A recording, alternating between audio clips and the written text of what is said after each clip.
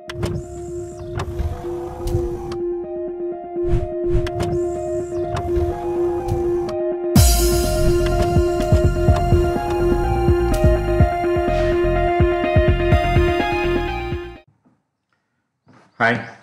welcome to ANR tutorials ISRO నుంచి మనకు ఒక కొత్త నోటిఫికేషన్ అనేది వచ్చింది.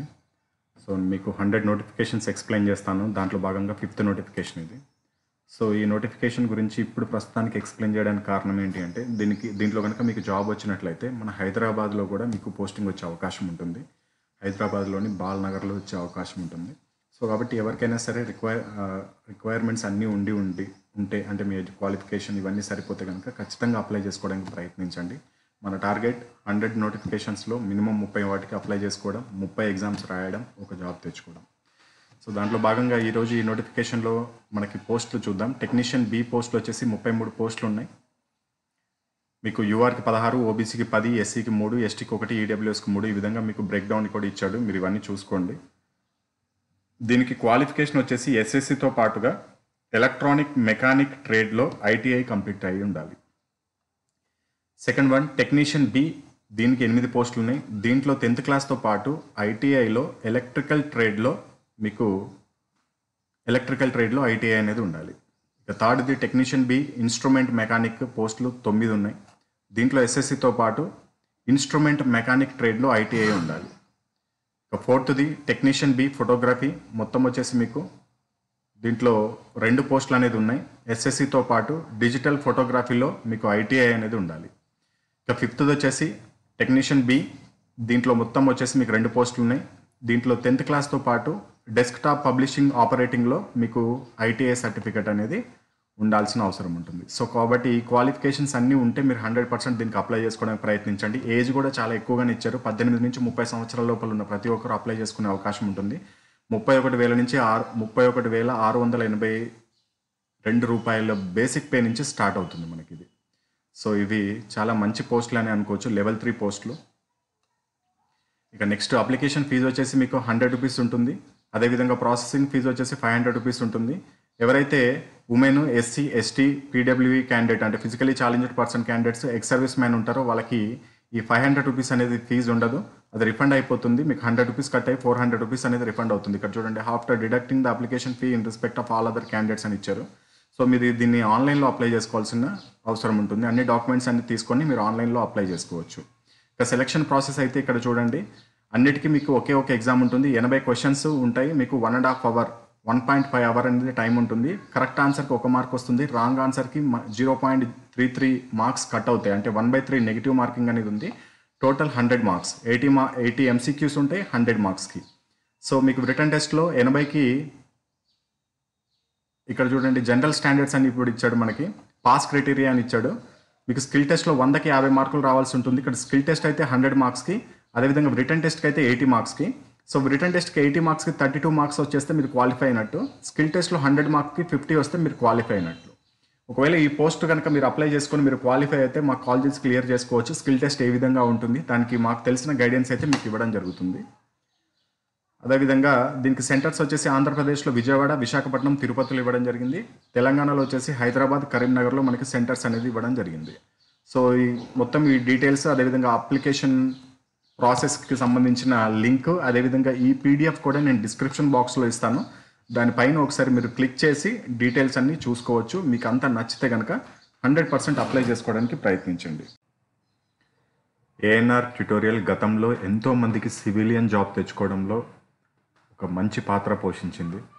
అదేవిధంగా ఈసారి కూడా పెద్ద నోటిఫికేషన్స్ ఏవీ లేవు. ఇప్పుడు కంటిన్యూస్గా ప్రిపేర్ అయ్యే వాళ్ళకి కొన్ని సెంట్రల్ గవర్నమెంట్కి సంబంధించినవి అదేవిధంగా ఆర్మీ నేవీ ఎయిర్ ఫోర్స్కి సంబంధించిన సివిలియన్ జాబ్స్ అదేవిధంగా రన్నింగ్ అదేవిధంగా హైట్ అవసరం లేని కొన్ని జాబ్స్ ఉంటాయి. అవి ఇప్పుడు చాలా క్రూషియల్ అయిపోయాయి. ఎందుకంటే పెద్ద నోటిఫికేషన్ లేనప్పుడు ఇట్లాంటి నోటిఫికేషన్సే కీ రోల్ పోషిస్తాయి. దాంట్లో భాగంగానే మళ్ళీ మీకు ఒక కోర్స్ అనేది లాంచ్ చేయడం జరిగింది. ఈ కోర్స్ పేరు వచ్చేసి టార్గెట్ సివిలియన్ జాబ్. ఎవరైతే సివిలియన్ జాబ్స్ తెచ్చుకోవాలి అనుకుంటున్నారో వాళ్ళు ఈ కోర్సులో జాయిన్ అవ్వచ్చు. దీంట్లో సెంట్రల్ సెంట్రల్ గవర్నమెంట్కి సంబంధించినవి ఆర్మీ నేవీ ఎయిర్ ఫోర్స్కి సంబంధించిన సివిలియన్ జాబ్స్ ఉంటాయి. అంటే యూనిఫామ్ లేకుండా ఉండే జాబ్స్ ఉంటాయి. దీనికి ఎటువంటి హైట్ కానీ లేకపోతే వెయిట్ కానీ లేకపోతే చెస్ట్ కానీ లేకపోతే ఈవెంట్స్ కానీ ఏవి ఉండవు. అండ్ దీనికి ఫీమేల్స్ అప్లై చేసుకోవచ్చు మేల్స్ కూడా అప్లై చేసుకోవచ్చు. నేను మీకు ఒక హండ్రెడ్ నోటిఫికేషన్స్ అప్లై ఎక్స్ప్లెయిన్ చేస్తాను యూట్యూబ్లో. ఈ పాయింట్ గుర్తుపెట్టుకోండి. హండ్రెడ్ నోటిఫికేషన్స్ ఎక్స్ప్లెయిన్ చేస్తాను. దాంట్లో కామన్ సిలబస్ ఉన్నవి మీ ఎడ్యుకేషన్ క్వాలిఫికేషన్ సరిపోయేవి అదేవిధంగా మీకు సబ్జెక్ట్కి అనుగుణంగా ఉన్నవి అదేవిధంగా ఫీజు కొన్నిటికి వన్ థౌజండ్ అలా ఉంటాయి కొన్నిటికి హండ్రెడ్ రూపీస్ అలా ఉంటాయి. సో కాబట్టి నేను హండ్రెడ్ ఎక్స్ప్లెయిన్ చేస్తే హండ్రెడే మీరు అప్లై చేయాలని లేదు. ఒక thirty to forty notification select చేసుకోండి మినిమం అయితే థర్టీ. సో ఆ థర్టీ నోటిఫికేషన్లకి సిలబస్ కూడా కామన్గా ఉంటుంది కాబట్టి మీరు సెలెక్ట్ చేసుకున్నవి. ఆ థర్టీ నోటిఫికే నోటిఫికేషన్కి అడ్మిట్ కార్డ్ వస్తే థర్టీ ఎగ్జామ్స్ అప్లై అడ్మి- మనము అటెంప్ట్ చేయాలి. అండ్ అప్లై చేసుకోవడమే కాకుండా అప్లై చేసుకున్న రోజు నుంచి ఆ ముప్పై నోటిఫికేషన్లను మనం కాన్సన్ట్రేట్ చేసుకుంటూ ఆరు నెలలు ఆ సబ్జెక్ట్ పైనే కూర్చోవాలి. మ్యాక్సిమం ఇటువంటి జాబ్స్కి జనరల్ ఇంటెలిజెన్స్ నుంచి ఇరవై ఐదు క్వశ్చన్లు జనరల్ అవేర్నెస్ నుంచి ఇరవై ఐదు క్వశ్చన్లు యాప్టిట్యూడ్ నుంచి ఇరవై ఐదు ఇంగ్లీష్ నుంచి ఇరవై ఐదు మొత్తం వంద క్వశ్చన్లు వంద మార్కులకు ఉంటుంది ఎగ్జామినేషన్. సో ఆ- సిలబస్ పైన ఒక ఆరు నెలలు కూర్చున్నట్లయితే ఆ ము మీరు అప్లై చేసిన ముప్పై నోటిఫికేషన్లకి అడ్మిట్ కార్డ్ వస్తే ఖచ్చితంగా మీకు ప్రిపరేషన్లో ఉన్నారు కాబట్టి మీకు ప్రాబబిలిటీ అనేది ఎక్కువగా ఉంటుంది. Ninety nine point nine percentage job తెచ్చుకునే అవకాశం అనేది ఉంటుంది. సో కాబట్టి ఈ స్ట్రాటజీని ఫాలో అయితే సివిలియన్ జాబ్ తెచ్చుకోవడం ఈజీ దీంట్లో పోస్టుల రకాలు వచ్చేసి MTS LDC UDC tradesmen mate steno library assistant అదేవిధంగా material assistant junior assistant senior assistant ఇట్లాంటి చాలా రకాల పోస్టులు అనేది ఉంటాయి.